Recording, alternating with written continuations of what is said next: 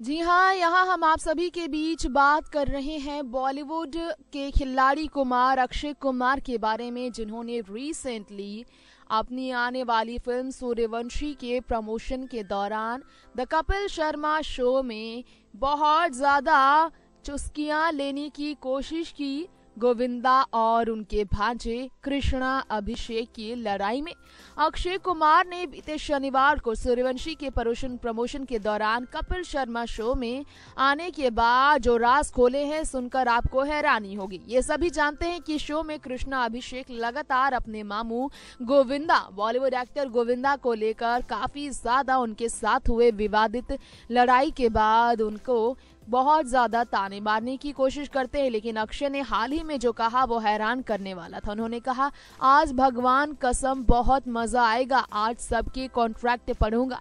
अक्षय कहते हैं, कृष्णा अभिषेक को लेकर कि कृष्णा का कॉन्ट्रैक्ट पढ़ते हुए उन्होंने कहा, तेरे कॉन्ट्रैक्ट में मामा के नाम पर आईडी है। मामा एट गोविंदा डॉट कॉम अरे कितना खाएगा मामा के नाम पर? ये कहकर अक्षय कुमार काफ़ी ज़्यादा मज़े ले लेते हैं कृष्णा अभिषेक भारती का कॉन्ट्रैक्ट भी वो पढ़ते हैं और वो काफ़ी ज़्यादा मज़े लेते हैं। वो कहते हैं, मुझे दिन में तीन टाइम खाना चाहिए और एक टाइम में मैं आठ बार खाऊँगी। अरे कितना खाएगी? खा खा कर अली बाग हो गई है।